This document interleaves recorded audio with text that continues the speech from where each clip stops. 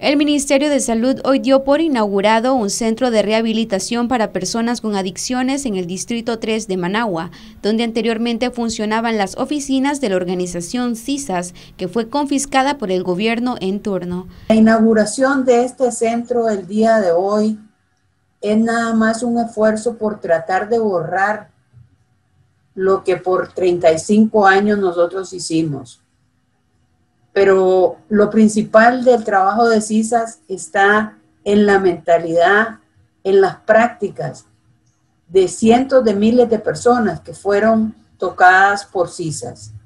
Nos duele muchísimo que hoy estén inaugurando ese centro, un centro que dedicó eh, todo su esfuerzo a promover la lucha contra la violencia, la lucha por la dignidad de las personas y especialmente la lucha contra la violencia hacia mujeres y niñas. Ana Quiroz, directora de dicha organización y quien fue expulsada del país, afirma que esto solo consolida la violación a la legalidad en Nicaragua y que estarán presentando en los próximos días una documentación adicional a organismos internacionales debido a la falta de respuestas de las entidades públicas nacionales. Definitivamente que nuestro, nuestra demanda legal continúa, nuestra denuncia internacional continúa, ¿verdad?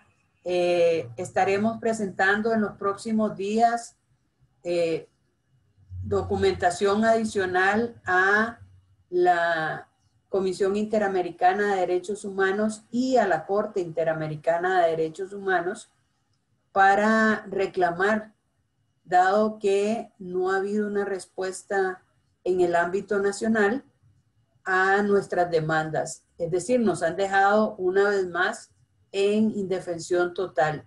Y ahora, con esta nueva arbitrariedad, consolidan esa violación de nuestros derechos y esa violación de la, de la legalidad en eh, Nicaragua. Para Noticias 12, Gabriela Solórzano.